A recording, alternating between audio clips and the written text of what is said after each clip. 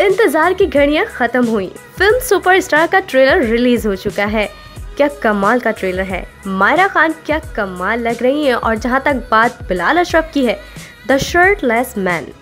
क्या amazing entry होती है बिलाल अशरफ की।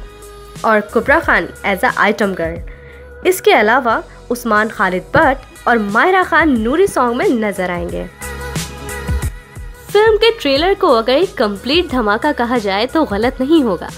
क्योंकि इसमें रोमांस एक्शन सस्पेंस सभी का तड़का लगाया गया है। और ट्रेलर के आखिरी हिस्से में जब माहिरा खान एक सुपरस्टार के तौर पर सामने आती हैं, तब तो बात ही कुछ और है। फ़िल्म के ट्रेलर को देखने से ये अंदाज़ा हो रहा है कि सुपरस्टार बनने के लिए माहिरा खान और बिलाल अशरफ के बीच ये कहानी बनाई गई है। फ़िल्म के सॉन्ग्स भी अच्छे हैं, जो बहुत ही खूबसूरती से कोरियोग्राफ किए गए हैं। लोगों को ऐसा लग रहा है कि सुपरस्टार बड़ी ईद पर परे हर्ट लव को टक्कर देने वाली है।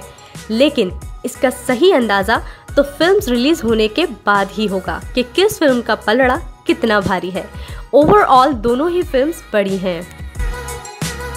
तो जनाब, आने वाली तमाम फिल्म्स के रिव्यूज़ के लिए आप हमारा चैनल विज़िट कर सकते हैं। इसके अलावा आप हमारा चैनल सब्सक्राइब भी करें, क्योंकि हम आपको देते हैं रिएक्शन, रिव्यूज़ and news.